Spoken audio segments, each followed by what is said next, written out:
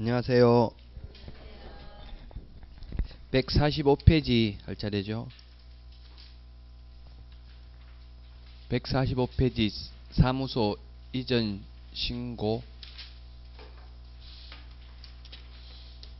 너무 오랜만이라서 기억을 못 하셔요. 죄송합니다. 저번 주는 뭐 갑자기 어머니가 돌아가셔서 수업을 못 했고요. 145페이지 사무소 이전입니다. 이전. 시험에 한 문제 출제됩니다. 사무소 이전. 만약에 대전시 대덕구에서 청주시로 사무소를 옮겼을 경우 옮기고 나서 10일 이내에 사전이 아니라 사후에 이전 후의 등록관청에 신고합니다. 신고할 때 제출하는 서류가 두 가지입니다. 첫 번째 등록증 원본 등록증 원본 분사무소인 경우 분사무소 설치 신고 필정 원본을 원본이라는 말은 없지만 사본이라는 말이 없기 때문에 원본입니다. 시험에 원본 제출해야 된다는 게 출제됐고요. 그 다음에 사무실 확보 증명서류 사무실 확보 증명서류 제출해야 됩니다. 그러면 이전 후의 등록 관청이 이전 전의 등록 관청에 등록 관련 서류를 송부해 달라고 요청해야 됩니다. 요청받은 이전 전의 등록 관청은 이전 후의 등록 관청에 지체 없이 지체 없이 송부해야 됩니다. 서류를 송부해야 되는데 송부해야 되는 서류는 세 가지입니다. 첫 번째 등록 대장 두 번째 등록 신청 서류 세 번째 최근 1년간 행정처분 및 행정처분 절차가 진행 중인 경우 그 관련 서류를 송부해야 됩니다. 그래서 이전 전에 위법 행위를 하고 만약 사무소를 옮겨버렸으면 행정처분은 이전 후의 등록관청이 하게 되겠습니다. 최근 1년간 행정처분 서류를 송부함으로써 이제 탈법 행위를 하고 사무소 이전, 휴업, 폐업하는 방법으로 행정처분을 회피하려는 악덕 기획 부동산 업자의 난립을 방지하기 위해서 이런 행정처분 서류를 송부하도록 하고 있습니다. 만약에 대덕구에 주된 사무소 본사가 있고 정주시에 분사무소가 있는데 이 정주시에 있는 분사무소를 서산시로 만약에 옮긴다면 분사무소를 이전한다면 이 분사무소 이전 후 등록관청이 아니라 주된 사무소 등록관청 즉 본사가 있는 주된 사무소 등록관청에 신고하면 신고를 받은 주된 사무소 등록관청이 이전 전 및 이전 후 시장군수구청장에게 분사무소 이전 사실을 통보합니다. 지체 없이 통보. 자, 그래서 시험에 10일 대신에 7일 하면 X, 미리 신고해야 된다고 하면 X, 이전 전의 등록관청에 신고해야 된다 하면 X입니다. 그리고 처리 기간은 처리 기간은 처리 기간은 7일입니다. 7일. 청주시장이 7일 이내에 등록증을 재교부합니다. 재교부. 관할구역 안에서 옮겼을 때, 관할구역 밖으로 옮겼을 때 다른데 관할구역 밖으로 옮겼을 때는 등록증을 재교부합니다. 등록증 재교부. 근데 관할구역 안에서 옮겼을 때는 기재사항을 변경하여 이를 등록증을 교부할 수 있습니다. 교부, 재교부가 아니고 교부할 수 있다. 그러면 관할구역 안에서도 원칙적으로 재교부인데 예외적으로 관할구역 안에서는 기재사항을 변경하여 등록증을 교부할 수 있습니다. 신고할 때 제출하는 서류와 송부하는 서류 종류가 서로 다르다는 것 시험에 출제됐습니다. 그리고 분사무소와 관련된 건 전부 주된 사무소입니다. 이를 위반했을 때 사무소 이전 신고 위반했을 때 100만원 이하의 과태료입니다. 100만원 이하의 과태료 지금 음, 147페이지까지 다 했습니다.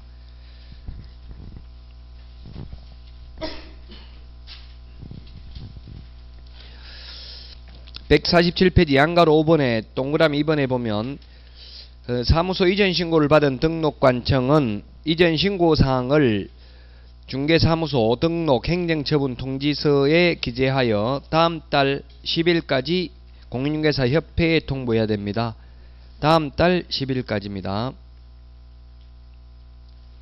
그 다음에 동그라미 4번 개업 공인중개사는 중개사무소의 이전 사실을 신고한 경우 지체 없이 사무소 간판을 철거하여야 한다.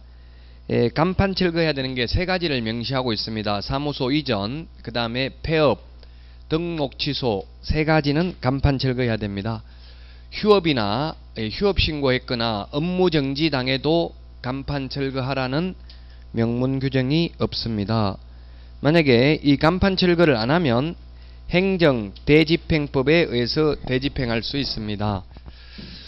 간판 철거를 해야 되는데 만약에 간판 철거 안 하면 간판 철거 안 했다고 특별히 처벌 규정은 없고 행정 대집행 행정 대집행법에 의해서 철거하면 됩니다. 청문은 행정 절차법입니다. 청문은 행정 절차법 행정 절차법에 따라 청문을 실시합니다. 그 다음에 과태료 이의신청 과태료 이의신청은 질서 위반 행위 질서 위반 행위 규제법에 의해서 과태료 60일 이내 이의신청할 수 있습니다. 자, 그 다음에 분사무소와 관련되는 거 보겠습니다. 분사무소 설치 신고, 분사무소 설치 신고 앞에서 했죠. 그 다음에 분사무소 이전 신고, 그 다음에 분사무소에서 사용할 분사무소 사용 인장 등록,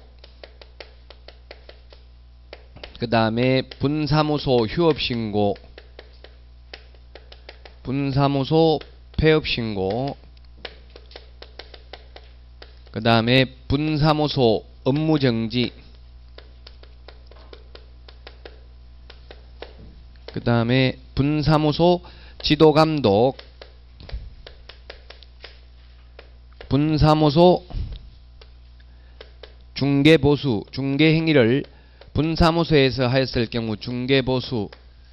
자 이게 있는데 이 분사무소와 관련되는 것은 주된 사무소 등록 관청입니다. 1번부터 6번까지는 주된 사무소 등록 관청입니다. 주된 사무소 등록 관청 근데 분사무소에 대한 지도 감독은 주된 사무소 등록 관청도 가능하고 주된 사무소 주된 사무소 이 말은 쓰지 않아도 자동적으로 등록관청이라고 하면 분사무소의 경우는 주된 사무소 시장군수구청장을 말합니다. 그 다음에 분사무소 시장군수구청장도 지도감독관청이 될 수 있습니다. 둘 다 됩니다. 중개보수는 분사무소에서 중개행위를 하였을 경우 분사무소 관할 시도조례입니다. 분사무소 관할 시도조례입니다. 분사무소와 관련된 것은 여섯 가지는 모두 주된 사무소 등록 관청이 해당 관청입니다. 저 148페이지 다 했습니다. 분사무소 이전 신고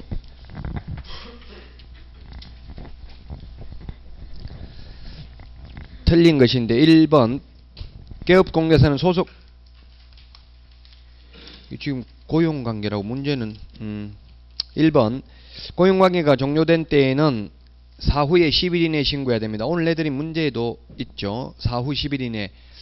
근데 고용신고는 업무 개시 전에 미리 해야 되고요. 고용관계 종료는 사후에 10일 이내 하시면 됩니다. 2번 어, 법인인 기업공개사는 등록관청에 신고하고 그 관할구역 외의 지역에 분사무소를 둘 수 있습니다. 148페이지 3번 문제 분사무소의 설치 신고를 하는 자는 국토교통부령이 정하는 바에 따라 수수료를 납부해야 된다 했는데 당의 지자체 조례가 정하는 수수료 납부입니다. 국토교통부령이 X입니다. 조례가 정하는 수수료 내는 게 조례가 정하는 수수료 내는 게 여섯 가지가 있습니다. 여섯 가지가 첫 번째 뭐가 있었어요? 응시 수수료. 그 다음에 자격증 재교부 수수료. 그 다음에 등록 신청. 등록증 재교부 신청. 그 다음에 다섯 번째 분사무소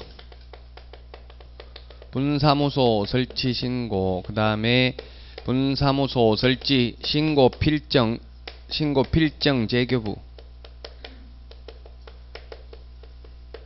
그래서 자격증 재교부할 때는 수수료를 내는데 자격증을 교부할 때는 교부할 때는 수수료 내지 않는다는 점을 주의하셔야 됩니다. 자격증 교부할 때는 공짜로 주고요. 합격하면 재교부할 때는 돈 내야 됩니다. 응시 수료와 자격증 재교부 수료는 시도 조례, 나머지 4개는 시군구 조례입니다. 시군구 조례가 정하는 수수료 냅니다. 조례.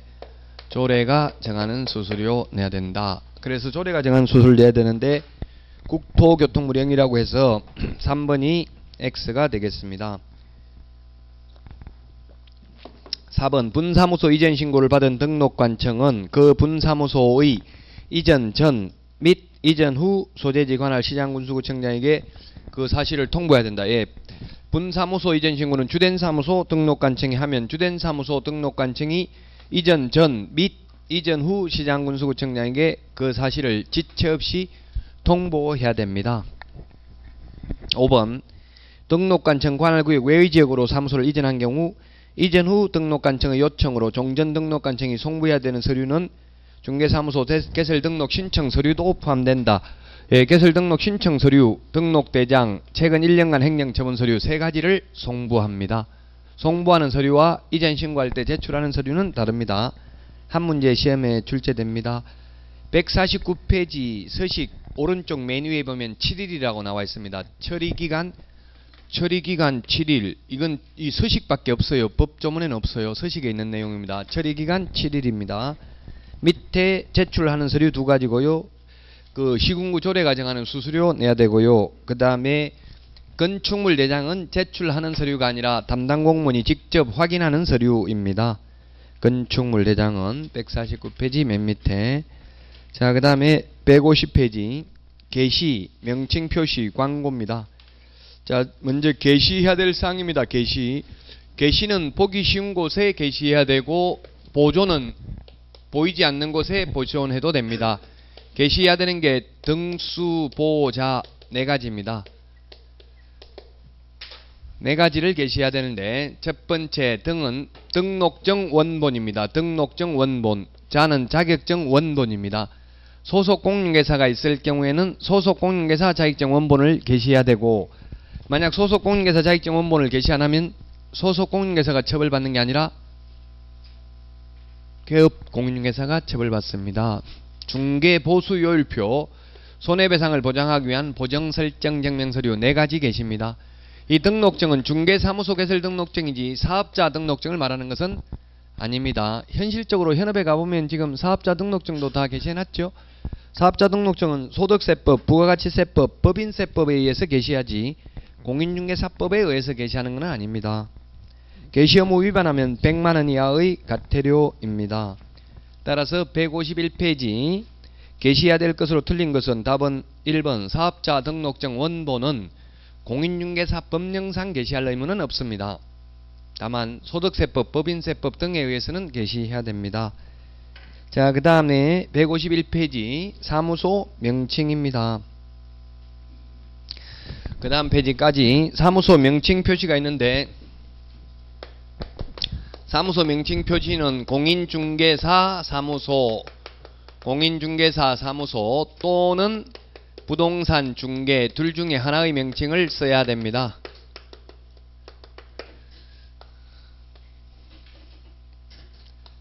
이 둘 중에 하나의 명칭은 사용해야 되고요. 앞에 행운공인중개사 사무소, 행복부동산 중개, 뭐 서대전 부동산 중개 주식회사 이런 거 써도 상관없습니다.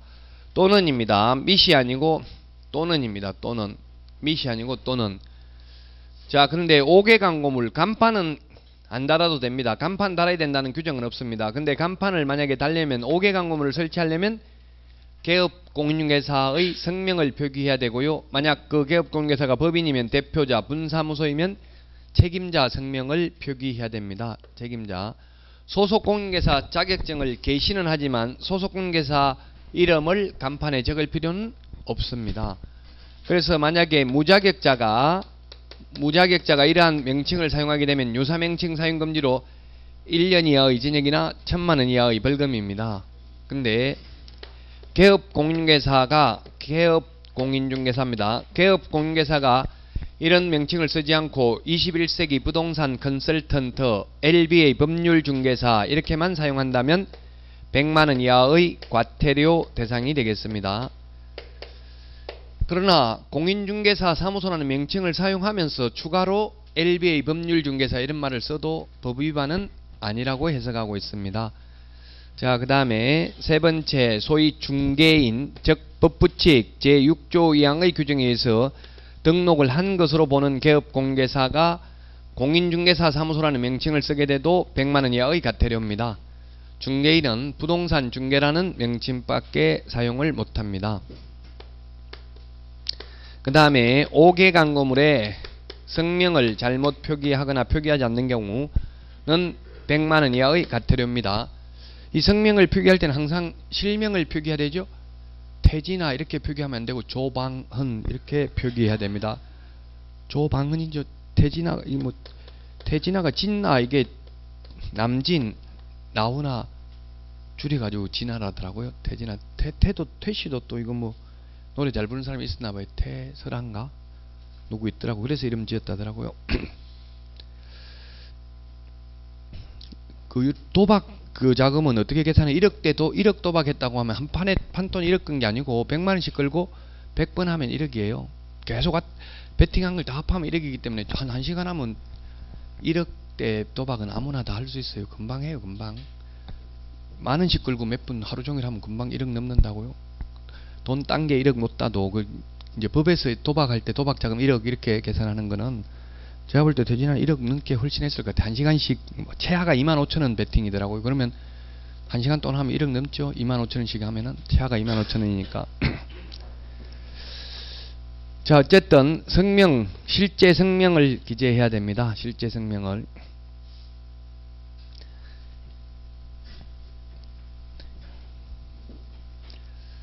자, 간판, 에, 사무소 명칭 표시 받고요. 그 다음에 152페이지 4번에 위반시 조치 및 제재인데 아까 철거 명령 만약 불법 간판 달고 있으면 철거 명령할 수 있고 따르지 않는 경우는 행정 대집행법에 의해서 대집행할 수 있다. 아까 다 이야기했습니다. 성명은 글자 크기 제한은 없습니다. 자 다음은 중개대상물 표시 광고입니다. 중개대상물 표시 광고 양가로 1번 153페이지입니다. 개업 공인중개사가 중개대 상물에 대하여 표시광고, 표시광고 공정에 관한 법률에 따른 표시광고를 말한다를 하려면 중개사무소, 개업공개사에 관한 사항으로서 다음의 사항을 명시하여야 한다. 중개사무소의 명칭 네 가지입니다. 중개사무소의 명칭, 소재지, 연락처 하면 세 가지잖아요. 거기에다가 성명, 법인인 경우 대표자 성명 해서 네 가지를 예, 반드시 표시를 해야 됩니다. 그래서 이게 현업, 현업에서도 보니까 저도 이런 걸 많이 당했는데요. 저도 처음에 순진해가지고 이게 상, 상가에 보면은 임대문이 셔터 내려놓고 임대문이 해가지고 이렇게 핸드폰 번호 적혀 있습니다. 뭐 핸드폰 번호 주로 이렇게 적혀져 있는데 이런 식으로 적혀져 있는데 전화해 보면은 건물주인 줄 알았는데 보면은 거의 다 개업 공개사입니다. 그러면 짜증나더라고 이게 주인처럼 이렇게 행세를 하니까 그래서 반드시 네 가지 개업 공개사라면 네 가지를 표시해야 되고 개업 공개사가 아니면 아예 이런 광고 자체를 하면 안 되고요. 만약에 무등록 무등록 개업 공개사가 무등록 개업 공개사가 이런 광고를 하게 되면 표시 광고를 하게 되면 1년 이하의 징역이나 천만 원 이하의 벌금 개업 공개사가 이런 광고를 하면서 네 가지 사항을 기재하지 않으면 100만 원 이하의 과태료입니다. 네 가지가 사무소 명칭, 명칭, 소재지, 성명, 대표자, 성명, 전화번호 네 가지 해야 됩니다. 그래서 옛날에 기획부동산 뭐 이런 데는 주로 보면은 직원들이 자기가 광고비도 되고 뭐 한 건 하면 5대5 이렇게 먹습니다. 예를 들면 반반 나눠 먹는다고요. 그러면 예를 들면 소속 공인회사 명의로만 옛날엔 광고를 했다고요. 지금 보면 뭐 나이트클럽이나 무슨 중고차 이런 거 보면 다 거의 개인 사업이거든요. 보면 나이트클럽도 그 자기 무슨 번호에 따라서 자기 거죠 그게. 그러면 광고도 다 따로 한단 말이에요. 테이블별로 따로 광고한다고요. 그래가지고 들어온 수입도 아마 자기가 거의 다 먹거나 몇 퍼센트 먹고 이렇게 해요. 근데 이제는 반드시 대표자 전화번호를 적고 추가로 소속 공인회사나 보조원 전화번호를 적는 것은 위반이 아니지만 대표자 전화번호는 아예 안 적고 소속 공인회사나 보조원 전화번호만 적는 건 위반이라고 보고 있어요. 그래서 이제는 좀 힘들어졌죠. 즉 직원이 한 10명, 20명 되면은 각각 자기 물건 자기가 먹는단 말이에요. 몇 퍼센트. 네 건지 내 건지 이제 구분하기가 힘들다는 이야기. 내가 한, 광고한 건지 네가 광고한 건지 힘들잖아요. 대표자 전화번호를 다 적어놔 버리면 그 대표 전화로 와 버리면은 이게 누가 광고한 건지 알기가 어렵죠. 무등록 개업 공개사가 중개 대상물에 대한 광고를 하면은 1년 이하의 지정이나 천만 원 이하의 벌금. 개업 공개사가 광고하면서 사무소 명칭, 소재지, 성명, 전화번호를 기재하지 않으면 100만 원 이하의 과태료입니다. 근데 건물주가 자기 건물을 그냥 광고할 때는 임대문이 이렇게 해도 상관이 없습니다. 중개 대상물이 아니잖아요. 중개 대상물이라는 것은 중개를 하기 위한 대상물이니까 남의 물건이죠. 예, 자기 물건 자기가 그냥 광고하는 건 아무렇게나 해도 상관이 없습니다. 154페이지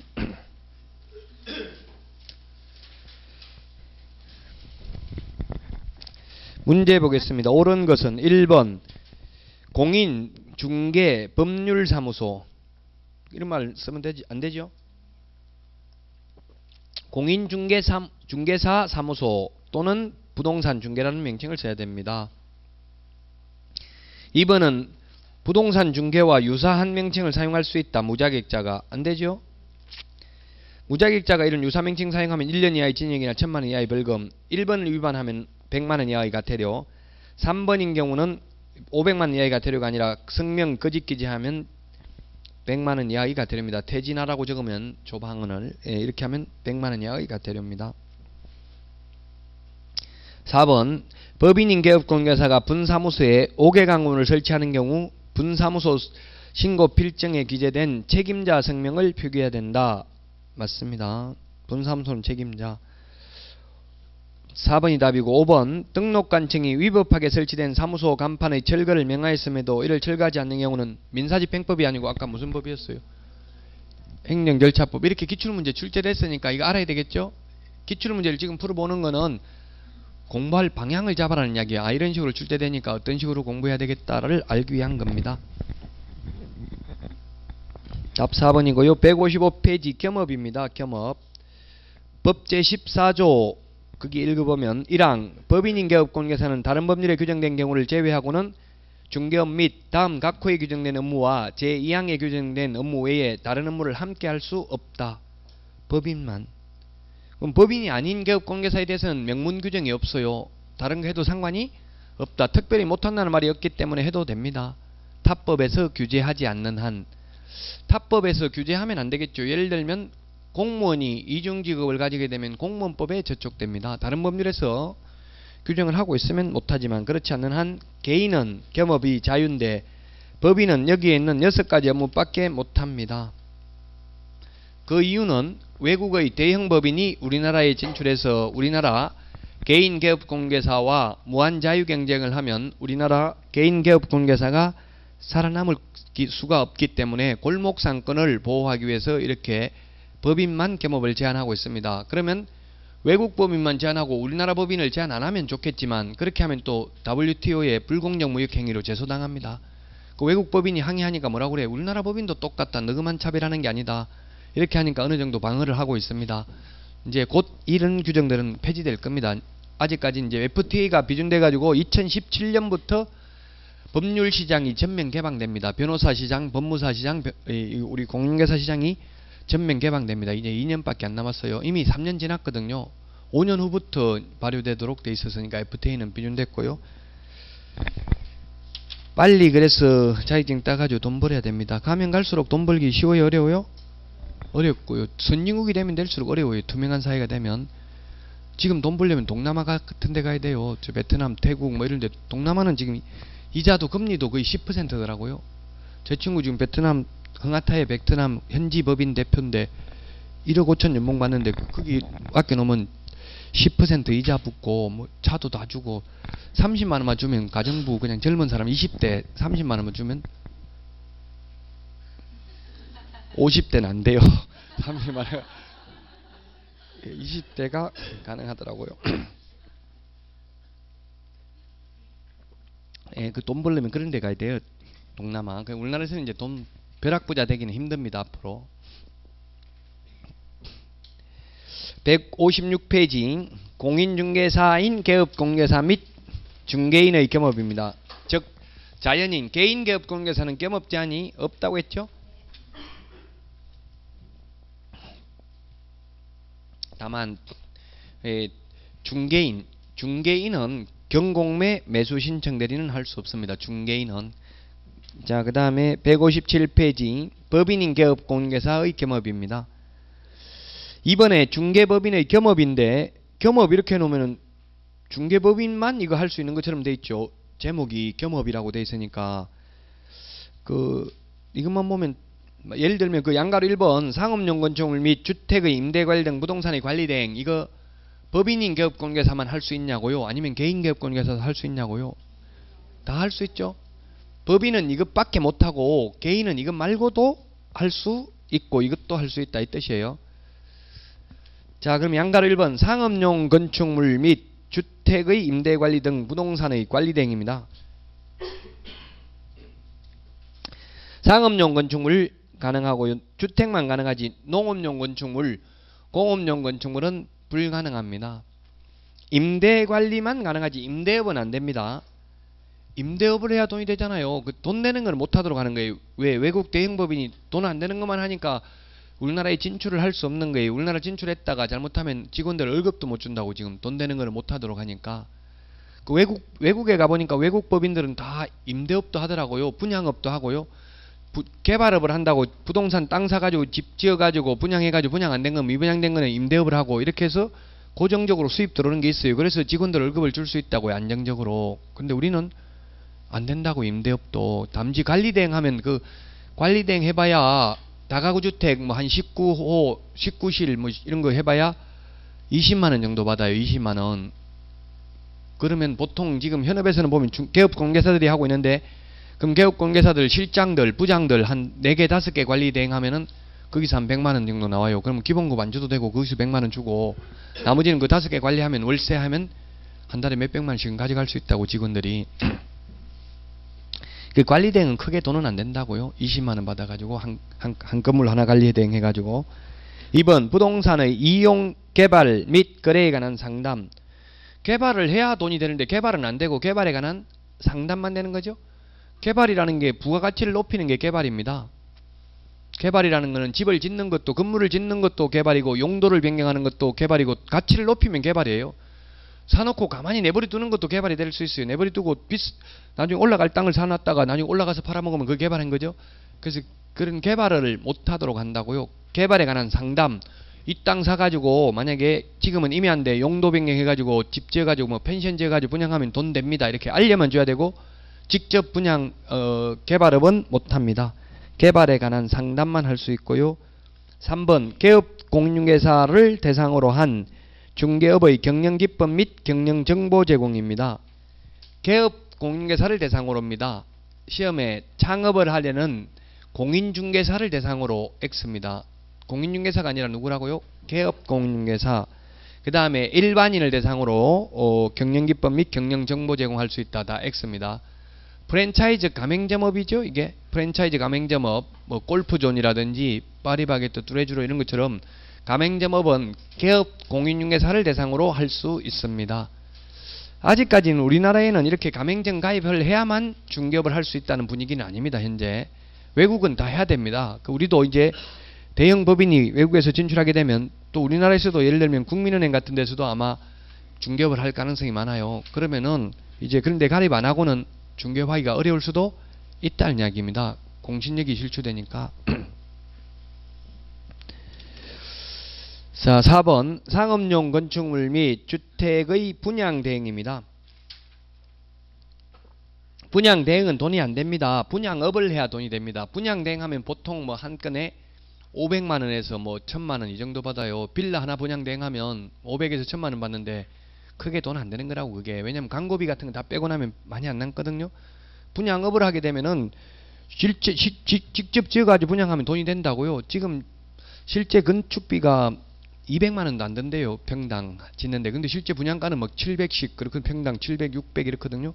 그게 돈이 되잖아요. 근데 분양업은 못하고 분양 대행만 할 수 있다고. 남이 지어 놓은 거 분양 대행만 할 수 있다고요.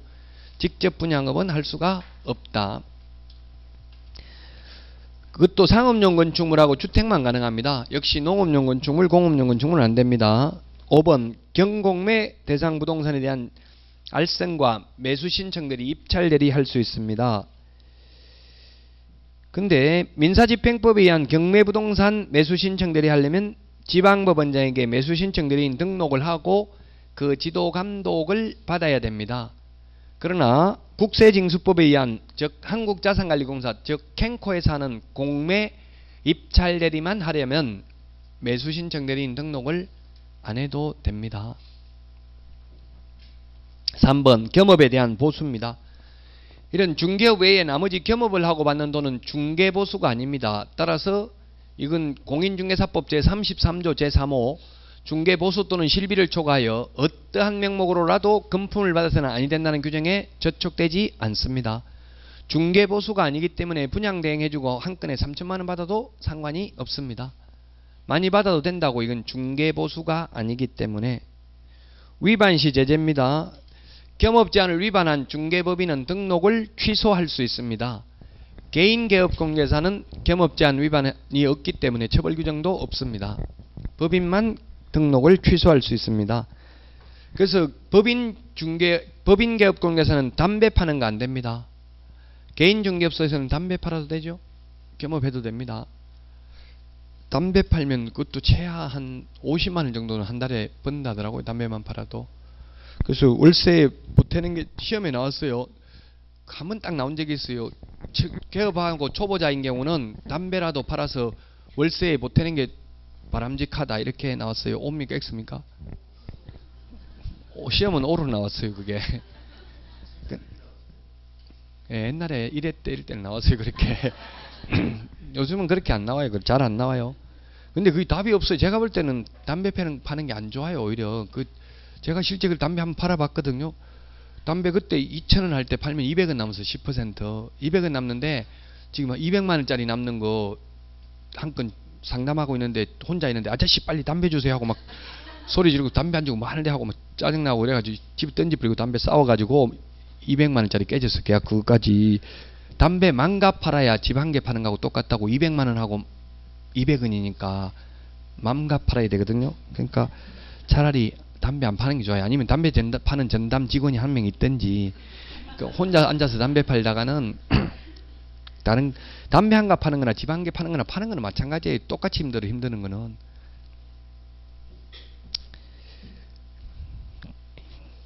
편의점 같은 거는 중개할 때는 반드시 담배 못 팔면은 그 편의점은 하기가 힘들죠. 24시간 편의점은 담배 사러 왔다가 보고 다른 것까지 다 사잖아요. 처음에 담배 한 갑 사러 왔다가 그 담배 파는 게 굉장히 중요하다고 편의점은. 그래서 편의점 중개할 때는 담배 팔 수 있는지 없는지 그 제한이 있어요. 50m. 그 50m도 다 공무원 마음대로 해요. 돈 좀 주고 이렇게 하면 공무원이 48m밖에 안 떨어져 있는데 막 돌아가면서 돌저줄 잡아가지고 아 이게 또이 움직이는 거 가지고 한 바퀴 저 횡단보도 건너갔다 다시 오고 이러더라고. 그래가지고 58m 내리면서 된다 하더라고 또요. 그 기분 나쁜 사람 오면은 막딱 바로 직선으로 가가지고 안 된다 하고 그래요. 그러니까 명확하게 아- 말하기가 힘들어요. 49m 이렇게 되면 된다 안 된다. 그 그런 걸 특약으로 적어놔야 돼. 담배 안 되면 어떻게 할 건지 만약에 담배 점포가 안 되면 안 그러면 나중에 중개 사고예요. 편의점 중개할 때는 자 5번 특수법인의 경험입니다. 159페이지 특수법인 특수법인이라고 하면 지역농협, 신탁업자, 산업단지 관리기관, 지역산림조합, 한국자산관리공사 등인데 이런 특수법인에 대한 명문 규정은 없습니다. 우리 공인중개사법에 다만 해석상 지역농협의 경우에는 어, 조합원을 대상으로 농지 매매 교환 임대차 중개와 농협 업무만 할 수 있고요. 경공매 매수 신청 대리 등은 할 수 없는 것으로 해석하고 있습니다. 4번 경공매 매수 신청 대리는 조금 전에 다 했습니다.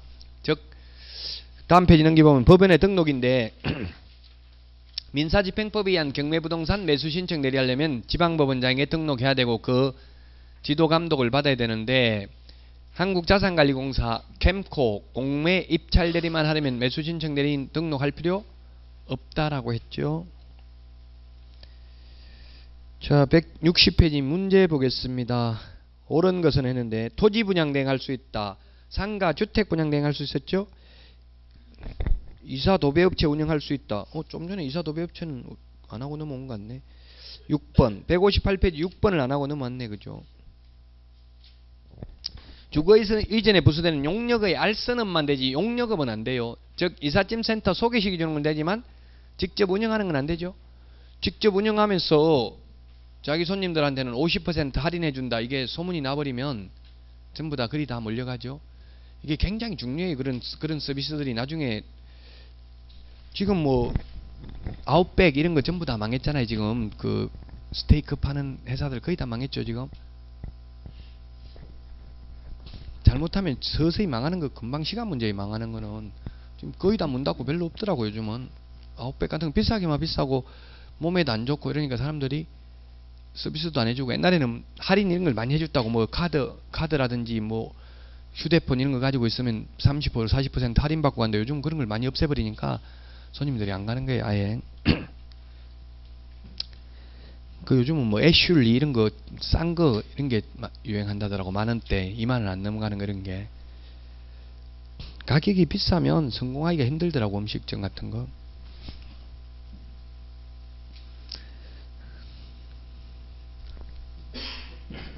그래서 이사 2번 이사업체 운영할 수 있다. 이사업체 소개만 시킬 수 있습니다 그 다음에 3번은 상업용 건축물 분양 대행 할 수 있는데 없다고 해서 틀렸고요 4번 겸업 제한 규정을 위반한 경우 등록관청은 등록을 취소할 수 있다.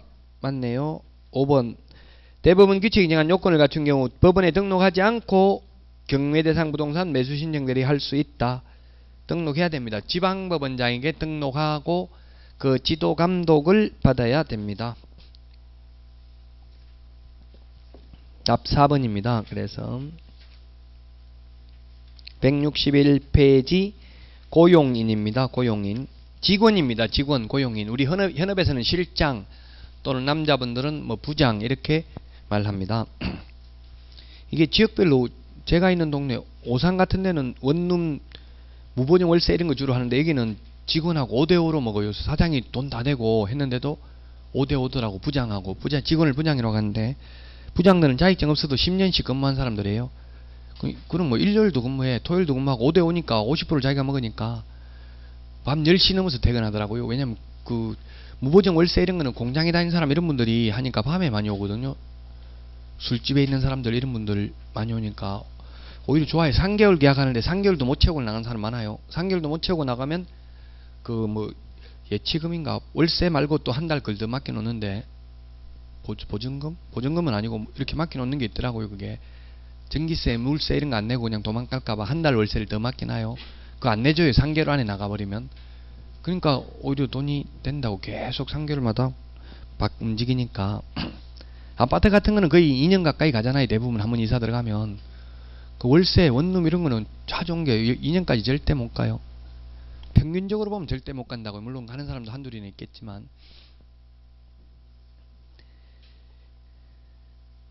자 그래서 어, 고용인의 종류 고용인의 종류는 두 가지가 있다고요. 소속 공인회사 중개 보조원이 있습니다. 162페이지 고용 및 고용관계 종류인데 에, 고용 인원수 제한 없습니다. 몇 명을 고용해야 된다 이런 말은 없어요. 뭐 지금 옛날에는 인원수 제한이 있었어요. 많이 고용하면 안 된다.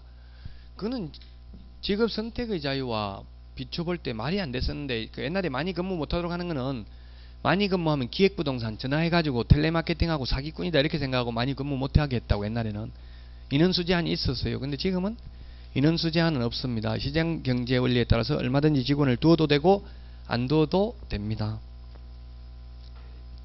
이번에 보면은 만약 결격 사유에 해당되면은 그 사유가 발생한 날로부터 2개월 이내에 사유를 해소해야 되고요. 즉 직원이 결격 사유에 해당되었는데 그 사유를 해소 안 하면 2개월 이내에 업무 정지 사유입니다. 깨업 공개사는. 근데 만약에 법인의 임원이 결격 사유에 해당되었는데 2개월 안에 그 사유를 해소 안 하면 절대적 등록 취소 사유였죠. 앞에 결격 사유에서 했습니다. 양가로 1번 고용신고입니다.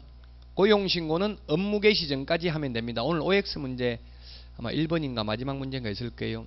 고용신고. 옛날에는 고용신고도 10일 이내 사후에 하도록 돼 있었어요. 오늘 문제 있습니다만은. 그러다 보니까 가서 단속하러 가니까 전부 다 출근한 지 일주일밖에 안 됐는데요. 하루밖에 안 됐는데요. 이렇게 하니까 단속을 할 수가 없는 거예요. 그래서 이제는 먼저 단속하는 사람이 그런다더라고요. 서울시 그 고용수 주무관하고 제가 실무교육 다니면서 이야기 들어보니까 먼저 사무실 가서 명함부터 그 명함을 다 나눴거든요. 시, 실장 이런 거 책상 앞에 나눴단 말이에요. 명함을 보통 그 명함부터 수거한데 일단 그래 실장님 부르는 거예요. 그럼 얘한 실장님 했는데 얘 하고 이거 직원이잖아요.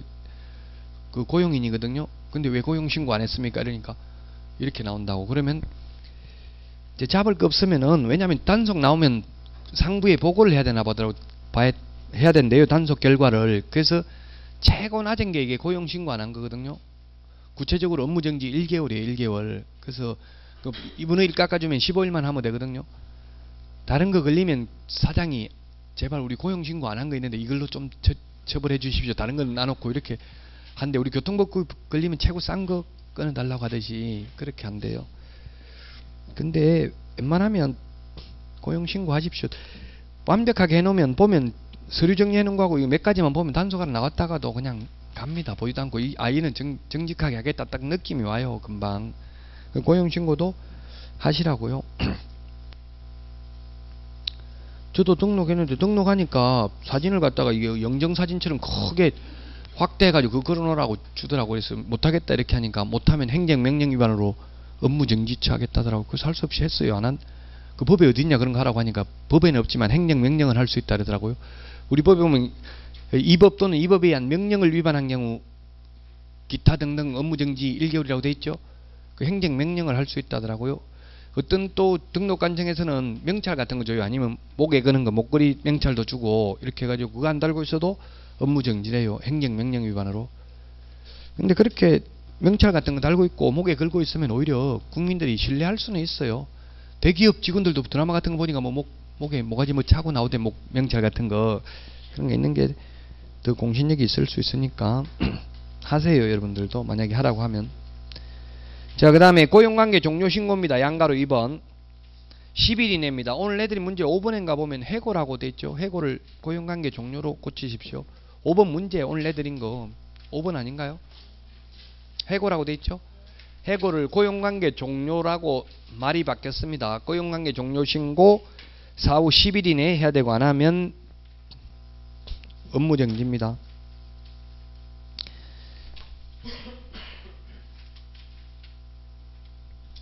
양가로 4번 163페이지 서식인데 소속 관계사 또는 보조원의 고용, 고용관계 종료 신고는 소속 관계사 또는 중개보조원을 고용, 고용관계 종료 신고서에 의한다.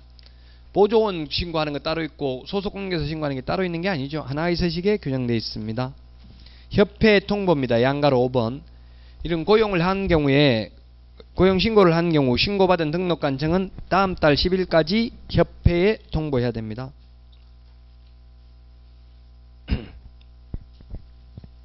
위반 시 제재입니다. 양가로 6번. 위반 시 6월 이하의 업무 정지입니다. 구체적 기준은 1개월입니다. 고용, 고용관계 종료 신고하지 않는 경우. 업무의 범위입니다. 3번 163페이지 소속공인중개사 그 다음 페이지 중개보조원이 있습니다. 소속 공인계사는 개업공개사에 소속된 공인중개사로서 중개 업무를 하거나 보조하는 자고요. 보조원은 공인중개사가 아닌 자로서 개업공개사에 소속되어 현장 안내 및 단순한 업무를 보조하는 자입니다. 그래서 맨 밑에 그 박스에 보면 소속공개사와 중개보조원의 차이점 같은 점이 있는데요. 자, 먼저 소속공개사는 확인설명서 작성할 수 있는데 중개보조원은 안 됩니다. 계약서 작성할 수도 있습니다. 그 다음에 소속공개사는 인장등록, 품위유지, 신의성실, 의무가 있습니다. 그 다음에 중개행위를 했다면 서명 날인 의무가 있습니다. 그리고 고용되기 전에 실무 교육 받아야 되고요. 고용되고 나면 2년에 한 번씩 연수 교육 받아야 됩니다.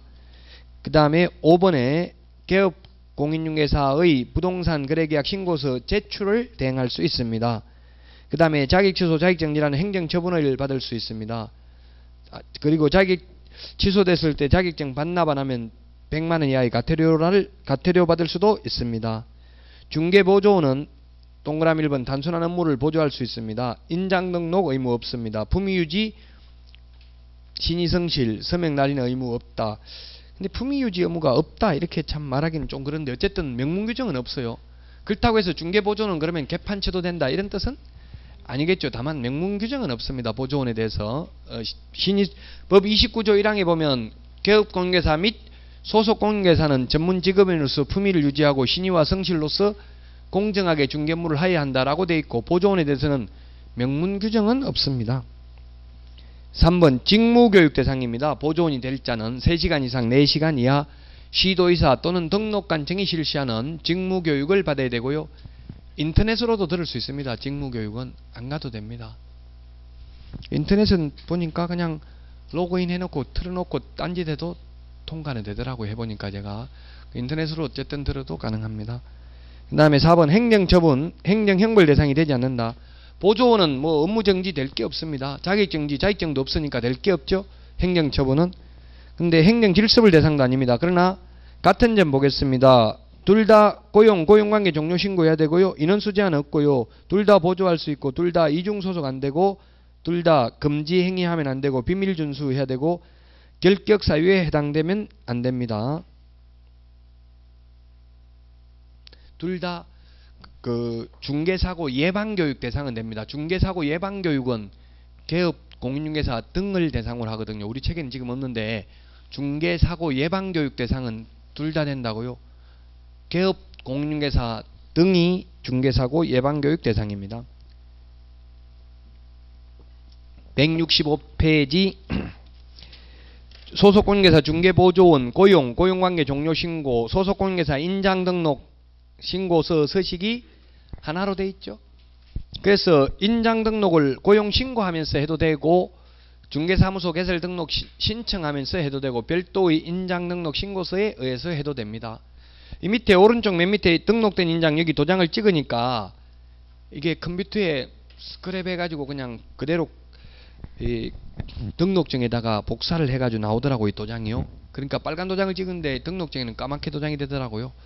따로 등록증이가 도장을 안 찍고 그대로 인터넷에서 그냥 이렇게 복사해가지고 어떻게 연결 이어 붙이는 것 같더라고요.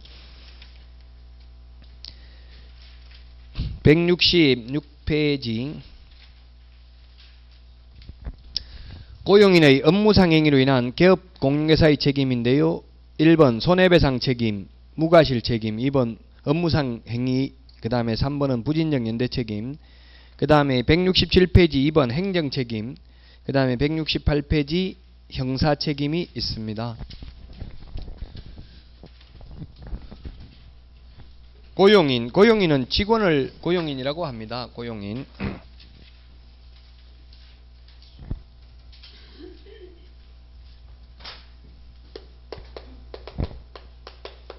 고용인은 소속 공인중개사가 있고 중개보조원이 있습니다. 고용인은 직원이고 고용자, 사장, 고용자, 사용자 또는 개업공개사 이 직원이 의뢰인에게 1억 원의 재산상손을 입혔으면 의뢰인은 직원에게 1억을 청구할 수도 있고 개업공개사에게 청구할 수도 있고 동시에 두 사람 동시에 청구할 수도 있습니다. 손해가 1억 발생했는데 양쪽에 1억씩 해서 2억을 받을 수 있다는 뜻은 아닙니다. 그래서 왜 사장에게도 책임이 있냐면 직원이 잘못하면 사장하고 직원하고 같이 책임이 있고요. 사장이 잘못하면 사장만 책임 있죠. 고용인의 업무상 행위는 그를 고용한 개업 공개사의 행위로 본다라고 되어 있기 때문에 사장도 책임이 있습니다. 만약 사장이 직원을 대신해서 손해배상을 했다면 직원에게 구상권을 행사할 수 있습니다. 구상권. 너가 갚아야 될 돈을 내가 대신 갚았으니 내가 갚은 돈을 돌려달라고 구상권을 행사할 수 있습니다. 그래서 이 두 사람 간의 관계를 부진정 연대 채무 관계에 있다고 합니다. 부진정 연대 채무 관계. 부진정 연대 채무라는 말은 민법 용어입니다. 인터넷에 검색해 보면 나오는데 민법 용어입니다. 그 쉽게 좀 이게 좀 어려운 용어인데요. 쉽게 생각하면 그냥 진정으로 연대 보정을 쓰진 않았지만 사실상 연대 보정 선고와 비슷한 책임을 부담한다 이렇게 보시면 됩니다. 직원을 고용하면서 네가 잘못하면 내가 다 책임질게 이런 말 한 적은 없습니다. 그래도 실제로 책임져야 됩니다. 자, 그래서 고용인, 고용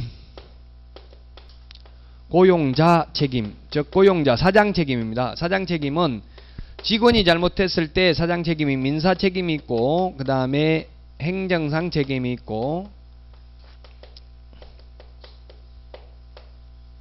형사 책임이 있는데 민사 책임하고 행정상 책임은 무과실 책임입니다. 물론 이 세 가지 책임을 잘못한 당사자 즉 고용인은 당연히 책임이 있고요. 사장에게도 책임이 있다는 뜻입니다. 사장에게만 책임이 있는 건 아니죠. 직원 잘못하면 직원도 당연 책임이 있습니다. 형사 책임은 과실 책임입니다. 자, 과실 책임, 무과실 책임 중에서 뭐가 더 무거운 책임입니까? 무과실이 더 무겁죠. 과실이 없어도 책임을 져야 된다는 뜻이고요. 이거는 직원이 잘못했다면 사장은 자기 잘못이 없어도 손해배상해야 됩니다. 직원이 잘못했다면 사장 잘못이 없어도 등록이 취소될 수도 있습니다. 근데 형사 책임은 과실 책임입니다. 과실 책임. 따라서 형사 책임은 직원의 과실이 어, 사장의 과실이 있을 경우면 형사 책임을 받습니다. 형사 책임은 그 법제 50조 양벌 규정에 규정되어 있는데 뭐라고 되어 있냐면 법제 50조에 보면 고용인의 업무상 행위가 법 제 48조 또는 제49조 행정형벌에 해당되는 위반 행위를 한 때에는 그 행위자를 벌하는 외에 그 개업 공개사에 대해서도 해당 조에 규정된 벌금형을 과한다. 즉 직원 잘못으로 징역을 가는 일은 없습니다. 벌금형을 과한다. 다만 개업 공개사가 그 위반 행위를 방지하기 위하여 상당한 주의와 감독을 게을리하지 아니한 경우에는 그러하지 아니하다. 168페이지 지금 양가로 1번 읽어보고 있습니다. 뒤에 359페이지 가면 또 나옵니다. 158페이지 3번 형사책임 양가로 1번 양벌규정 요거 읽었습니다. 즉 무과실 책임이 아니라 형사책임 뭐라고요? 그 양가로 1번 양벌규정 세 번째 줄에 다만 적혀있잖아요. 다만부터 밑줄 치시면 그게 양 다만이 단서잖아요. 이게 과실이 있을 경우에만 책임지고 과실이 없는 경우는 그러하지 아니하다라고 돼 있죠. 예, 과실이 없는 경우에는 책임이 없습니다.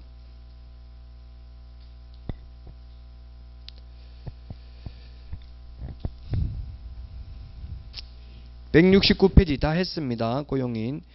개업공개사인 법인의 임원은 다른 개업공개사의 중개보조원이 될 수 있다. 이중소속은 안 되죠? 이중소속은 어떤 경우도 안 된다. 틀렸습니다. 그 다음에 2번은 고용인의 업무상 행위는 그를 고용한 개업공개사의 행위로 보지 않는 게 아니라 본다 그 다음에 보조원은 3번 확인 설명서에 날인할 의무가 있다. 에, 서명 및 날인 중개 업무는 소속 공개사는 있습니다만은 보조는 없다. 그 다음에 4번은 1개월 이내에 신고하는 게 아니라 10일 이내에 신고하니까 틀렸고요.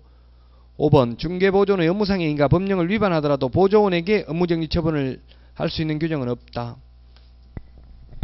음, 업무정지는 개업 공개사만 대상입니다. 그 직원이 잘못하면 그를 고용한 개업 공개사의 행위로 보기 때문에 개업 공개사가 업무정지 당할 수도 있고 등록 취소 당할 수도 있죠. 5번이 답입니다. 쉬었다가 인장 등록하도록 하겠습니다.